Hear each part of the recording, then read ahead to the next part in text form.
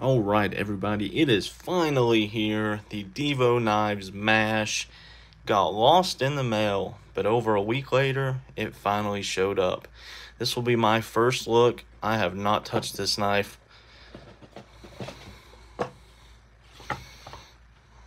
Oh, shoot. Okay, centered out of the box. Yes, flick. Ooh. Got that satin blade there, titanium scales, wire pocket clip. Let's see the action. Just opened it legitimately. Oh my goodness. Oh, strong detent. I like that. Guys, that action. That is phenomenal.